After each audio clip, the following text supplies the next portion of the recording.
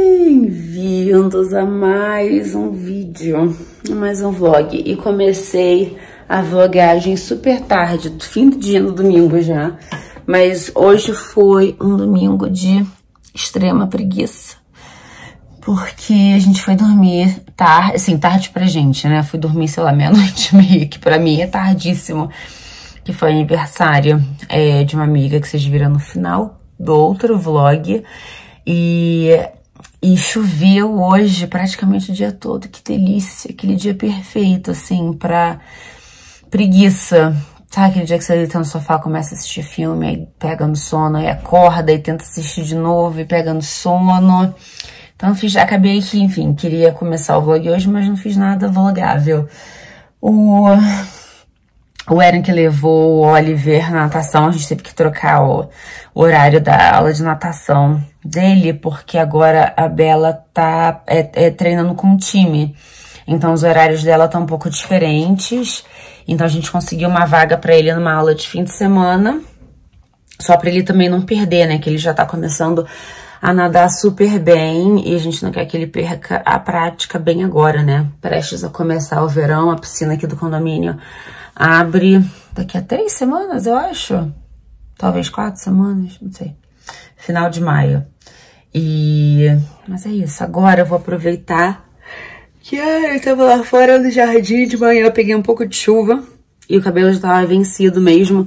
Então eu vou colocar um pré-shampoo, que aí daqui a pouco a gente vai jantar, eu vou tomar banho.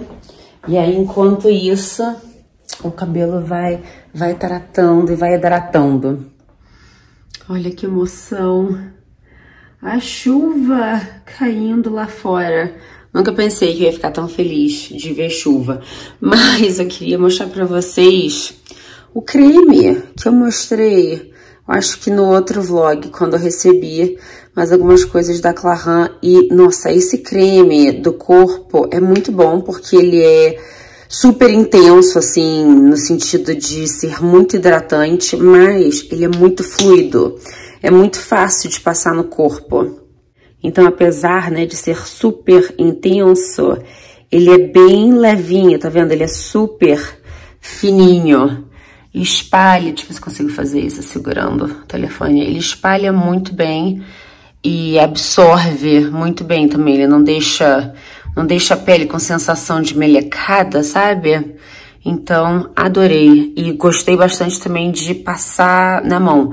O creme de mão da Clarin, por falar nisso, que, enfim, não foi, infelizmente não foi, não foi presente deles, foi comprado com o meu suado rico dinheirinho, mas esse creme de mão da Clarin fica aqui no meu quarto, na, na minha mesinha de cabeceira, porque para mim é o melhor que tem. Eu tenho um desse aqui, tenho um na, na, na minha mesa do escritório também.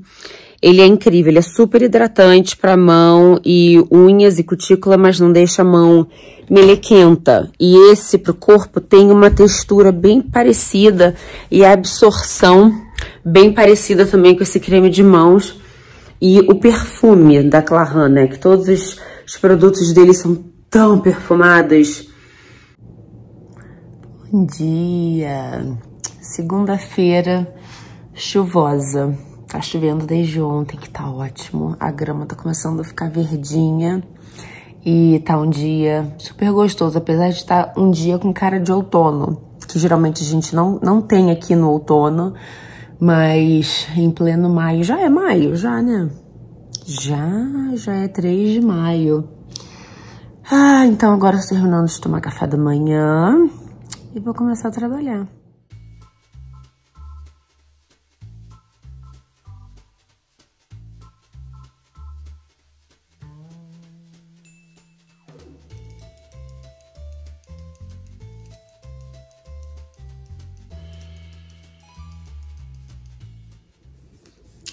Ainda estou aqui, minha gente. Não lembro mais o que, que eu filmei hoje, ao longo do dia.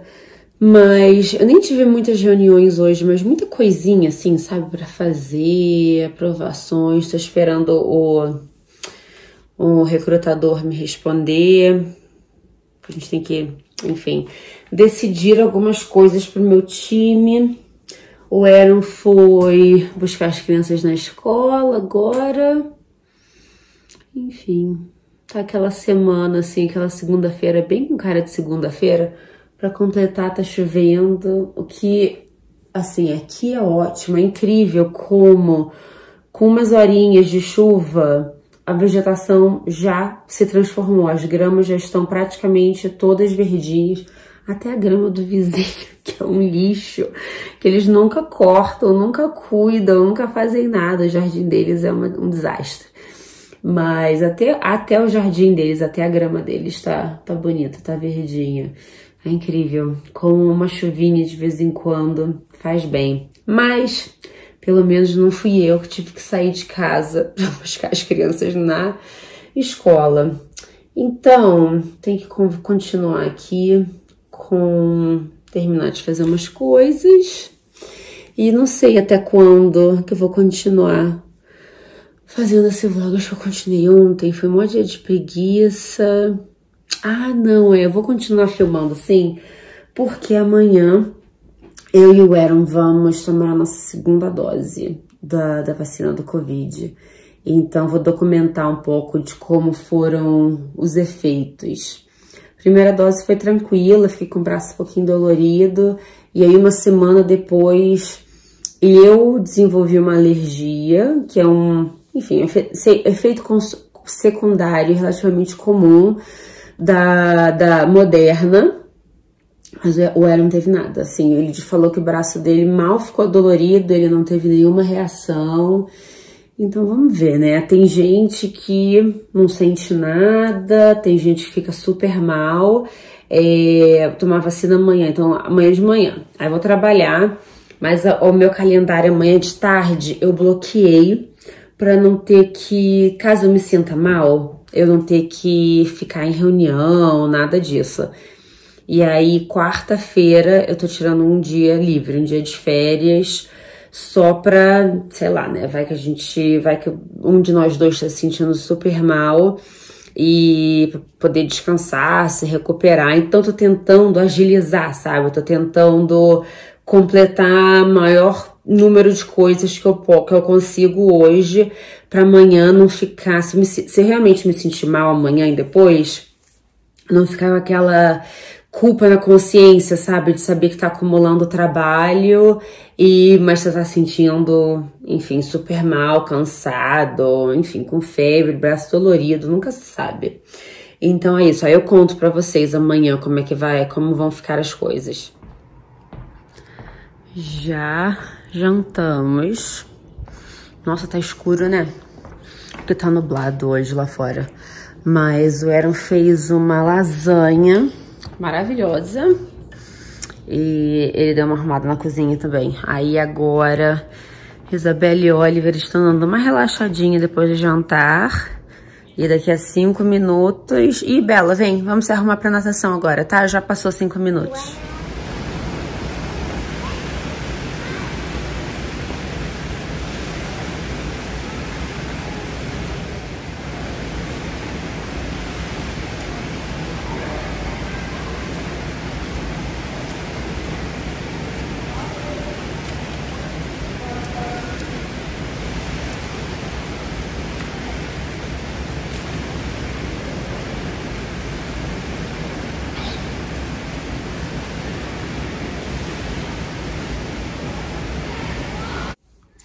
Bem-vindos a mais um dia nesse vlog. Então, como eu prometi ontem, vou gravar um pouco da nossa experiência com a segunda dose da vacina.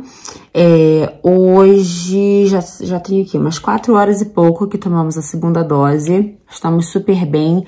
Agora, meu braço começou a ficar pesado, sabe? Não tá doído, mas tá pesado.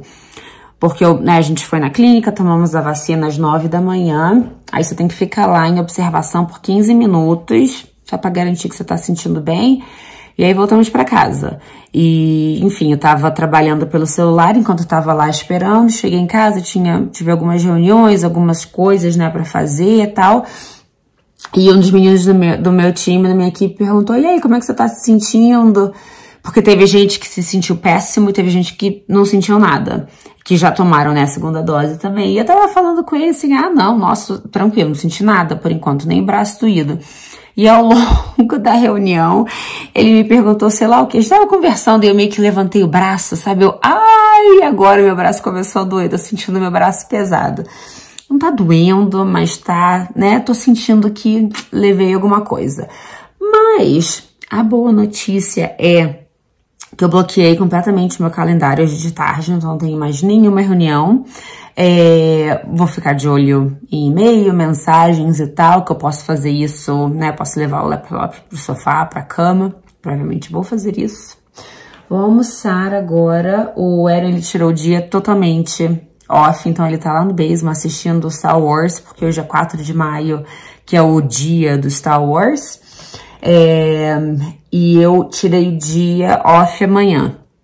Se eu não, se eu estiver me sentindo bem, eu acho que eu vou trabalhar mesmo assim, porque acabei de começar, né? Tô trabalhando há um mês. E se eu estiver me sentindo bem, não, enfim, não quero abusar da boa vontade da minha chefe. Foi ela que foi ela que me disse para tirar o dia de férias, porque a a esposa dela teve uma, teve uma reação super forte com a segunda dose da Moderna. Então, ela assim, olha, só pra, né, por precaução, porque todo mundo já sabe, marca um dia de férias pro dia seguinte, que se você precisar, você não fica com aquela pressão de ter que cancelar a reunião de última hora, essas coisas. Então, foi o que eu fiz. Mas, se eu tiver tudo bem, eu só tenho uma reunião amanhã que eu tenho, que é um, assim, é meia horinha que eu tenho que logar e ouvir, né, o que que vai, o que que vão falar. Não tenho que apresentar, não tenho que, enfim, participar ativamente de nada. Mas de resto, estou planejando ter uma tarde bem tranquila e amanhã um dia bem tranquilo se tudo der errado. Se tudo der certo, aí vai ser um dia normal como outro qualquer. E o almoço é a sobra da lasanha que o Aaron fez ontem no jantar. Então, geralmente, quando a gente faz assim jantar, a gente sempre faz o suficiente para sobrar para mais uma refeição. Ou para o almoço no dia seguinte, ou então para o jantar no dia seguinte. Então, ele fez uma lasanha enorme e sobrou o suficiente para o almoço de hoje. Mais uma atualização pós-vacina, indo buscar as crianças na escola. E tá tudo ótimo. Eu confesso que tirei uma sonequinha depois do almoço, já que não tinha nenhuma reunião, né? Meus e-mails estavam sem nada. Aí comi minha lasanha, resolvi sentar no sofá, naquela de, né, vou levar o laptop pro sofá. E aí se alguém me mandar um e-mail, eu fico de olho, mas acabei pegando no sono. Acordei, tinham dois e-mails, mas assim, nada, nada de urgente. Mas tô me sentindo ótima, tô com o braço dolorido, parecido com o que aconteceu da, da, da na primeira dose. Mas tô sentindo mais nada. Tava falando com, com o Aaron agora que ele ia buscar as crianças na escola, mas aí, enfim, teve uma reunião que ele não podia cancelar. Então lá vou eu.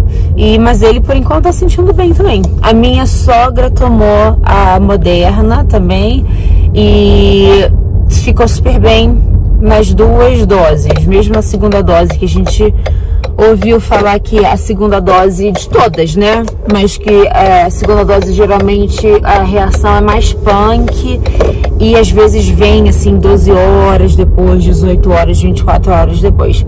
Então não sei. Por enquanto tudo bem. Eu tava preparada assim para ter uma uma tarde trevas, mas não. Por enquanto nós dois estamos bem. E quando. Eu acho que eu cheguei a comentar e mostrar num outro vlog quando a gente tomou a primeira dose, mostrei no. postei no Instagram, enfim. E muitos de vocês me perguntaram, ah, se a gente escolhe, a gente não escolheu quando liberou quando o governador aqui do Colorado anunciou que ia liberar vacinação para todo mundo, todas as idades, em vez de ser só é, baseado em é, profissão.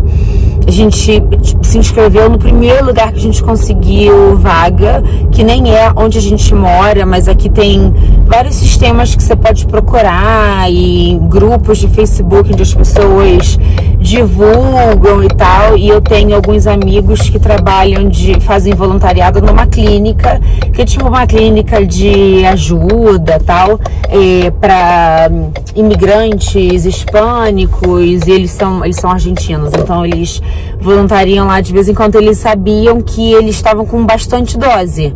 Então quando liberou para a idade de todo mundo, eles deram um link e a gente se inscreveu. Eu nem sabia qual era a vacina que dava lá. Isso a gente só descobriu que era da Moderna no dia que a gente chegou. Porque para mim eu sou totalmente indiferente em qual, qual vacina que eu ia receber. A gente até chegou assim, ah, não, ia ser bom tomar Johnson's, porque pelo menos é uma dose tá, uma dose só. Mas, enfim, a gente quis era tomar a primeira que apareceu. Então foi o que nós fizemos. Acabou sendo da Moderna. Esse tem que dar um, um intervalo de quatro semanas, né? Um mês para poder tomar a segunda dose. Que foi exatamente hoje. Então essa, essa que é a história da nossa vacinação do Covid. Vou continuar vlogando só para vocês saberem, né, a quantas estamos em termos de, é, enfim, reação e tal, para incluir nesse vlog também. Mas não tenham medo, quando vocês tiverem oportunidade, vão se vacinar. Vacinação é um privilégio. É, nem todo mundo que precisa consegue se vacinar. Acredite na ciência, a ciência é uma coisa maravilhosa. E quanto mais gente é, se vacinar, mais cedo a gente vai sair desse buraco, mais cedo todo mundo que está passando dificuldade vai continuar, vai, vai poder voltar a trabalhar, voltar a ter uma vida confortável. Infelizmente, vidas que já se perderam não voltam mais, mas quanto mais gente se vacinar, o mais rápido possível, né, mais rápido que tiver disponível para você, a gente reduz o risco de mais pessoas morrerem, mais pessoas ficarem doentes, debilitadas, mais famílias destruídas. Então, sem papo, sem discussão política nos comentários, vocês sabem que eu tenho política tolerância zero e deleto mesmo. Mas, por favor, acreditem na ciência. Se você tem a possibilidade, o privilégio de poder se vacinar, vá tomar sua vacina fui levar o Oliver na ginástica olímpica, aí aproveito para fazer o quê, né? Para resolver coisas. Eu vim numa loja que eu sempre falo aqui no canal, que se chama At Home. É tipo uma mega super loja com tudo que você pode imaginar para casa. Eu sempre venho muito aqui, falo muito dessa loja, época de festas, Natal, Halloween, Thanksgiving, porque eles têm muita coisa de decoração, assim, de tudo que você pode sonhar e imaginar. E aí, eu vim aqui também umas semanas atrás para procurar é, vasos de plantas. E eles têm tudo, de plástico, de cerâmica, para dentro de casa, para fora de casa, resistente à neve, todas as cores, todos os materiais, um preço muito melhor do que a loja de, de material de construção e a, e a fazendinha de árvores que tem aqui em em Denver. Então, aquelas, é, aqueles vasos azuis grandões que eu comprei para colocar na nossa área da churrasqueira, aí hoje eu vim aqui comprar a versão menorzinha, mas da mesma cor, para colocar na nossa varanda de trás, que aí combina com, a, com as almofadas que eu comprei, com os vasos grandes. Então acho que vai ficar bem bonito. E aí eu mostro para vocês no próximo, no próximo vlog quando for de fato plantar tudo.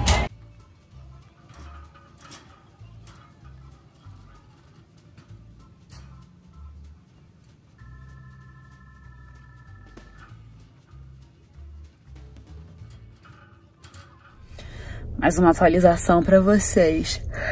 É, saí da loja, fui no Lowe's, obviamente, comprei mais plantas e come... do nada comecei a sentir um frio, um gelo, sabe aquele frio? Não sei se eu tô com febre não, mas sabe aquele frio que vem de dentro, sabe? Que parece que os ossos estão gelados, só que não tá frio hoje, tá? 17 graus, que é friozinho, vai, mas não é, não é o suficiente para eu estar tá, assim, morrendo de frio dentro do carro. Então acho que os sintomas estão chegando. Eu falei com o Aaron agora e ele disse que ele tá super bem, que ele tá assim com um pouquinho de dor no braço, mas não tá sentindo nada. Então, se os meus sintomas piorarem, tomara que ele fique tranquilo, né? Mas por via das dúvidas, minha cunhada tá de sobreaviso, sogra tá de sobreaviso, os vizinhos estão de sobreaviso, os amigos estão de sobreaviso. Então, se a gente precisar de pedir ajuda para alguém para ajudar a gente com as crianças, não, não tem problema. Nosso sistema de apoio está de sobreaviso. Mas, né, nunca é bom não se sentir bem. Voltei para dar um update, terminar o vídeo, porque passou um trator em mim. Graças a Deus o Aaron tá ótimo, ele não teve sintoma praticamente nenhum, mas ontem eu comecei a sentir frio quando eu tava esperando a Isabela sair da ginástica olímpica. E, entre, né, assim, os 20 minutos, meia hora entre que eu tive, que eu tive, entre esperar ela sair da aula e chegar em casa, eu tava assim, batendo o queixo, que tava doendo minha mandíbula, de, sabe assim, de tentar segurar o queixo. Sabe que você tá tão encolhida de frio que a coluna dói? Cheguei em casa, tomei banho e fui direto pra cama. Eram tipo 7h15 da noite. É, e aí, e tomei remédio, tomei Tilenol, né, paracetamol e tal. E mesmo assim, a febre continuou subindo é, chegou um ponto que a minha febre bateu 41,5, que são mais ou menos 105 graus Fahrenheit, que é muito alto. Aí a gente ficou um pouco apavorado, porque né, de 40, 41 para cima, você pode entrar em choque, pode ter convulsões. E eu tava, assim, muito tremendo, muito frio, muita dor no corpo. O Ana até chegou a... Tem um amigo nosso que é ele é enfermeiro e é dono de uma empresa que faz tratamento intravenoso e tal. Então ele até ligou para ele assim para ficar de sobreaviso que se a minha febre não estabilizasse, não não melhorasse, que ele vinha aqui para me dar é, hidratação e remédio intravenoso. Mas aí entre, né, eu chegar em casa com 41 graus de febre, aí quando deu umas nove e pouco assim, eu comecei a ficar cansada para dormir. E a minha febre tinha baixado para tipo 39, 38, 39. Tava muito alta ainda, mas enfim, não tava, né? Não tava mais super risco. É, passei a noite super mal. não tô com tosse, não, não sei porque que me deu tosse agora. É, passei a noite muito mal, assim, aquele é, calafrio, suando frio, sabe? Que você acorda toda molhada, ó, pijama molhado, mas ao mesmo tempo você tá com aquele frio por dentro. Foi horrível. E agora de manhã, é, enfim, eu só loguei no trabalho rapidinho. Eu tinha tirado dia off, já tinha tirado dia de férias de qualquer maneira. Mas eu tava naquela de que assim, ah, não vai ser tão ruim assim. Tinha uma reunião que eu, que eu queria participar, que eu não cancelei. E eu loguei do telefone, deitado na cama. Até falei pra minha chefe, tô aqui, mas não vou ligar a câmera, não. É, sobre um projeto, né? Foi, enfim, o kickoff que eu não, eu não queria perder. E falei pro pro meu time, cara, se vira. Não tem como funcionar. E aí tô, passei, mas não, não tá na hora do almoço, acho que são onze e pouco da manhã. E passei a manhã toda, tipo, 37 e pouco, 39. Aí tomo remédio, cai pra 37 e pouco, duas horas depois sobe pra 39. Então, a coisa aqui tá feia. Porém, o Aaron tá de boa. Ele acha que teve um pouquinho de febre de noite, porque teve uma hora que ele acordou para fazer xixi, sei lá, pra no banheiro, e sentiu, tava sentindo muito frio, assim, anormal. Aí tomou um pouco de Advil também de ibuprofeno, voltou a dormir e acordou numa boa. Então hoje de manhã ele levou as crianças pra escola, agora ele vai buscar a Isabela, mais tarde vai buscar o Oliver e eu vou continuar na cama para tentar dormir e me recuperar. Acabei de tomar mais um pouquinho de ibuprofeno para ver se abaixa um pouco a né, normaliza a febre, mas todo mundo diz que é assim, é 24 horas, que como mágica, que geralmente você começa a sentir sintomas tipo 10, 12 horas depois da, da, da vacina, que foi exatamente assim, no relógio, e que geralmente umas 24 horas depois que você começa a sentir os sintomas, né, umas 36 horas depois da vacina, passa. Então, tô na esperança de que amanhã vou estar tá me sentindo melhor. Ah, mas enfim, tô deitada tantas horas sabe quando a coluna, assim, as costas dói um pouco de tanto ficar deitada?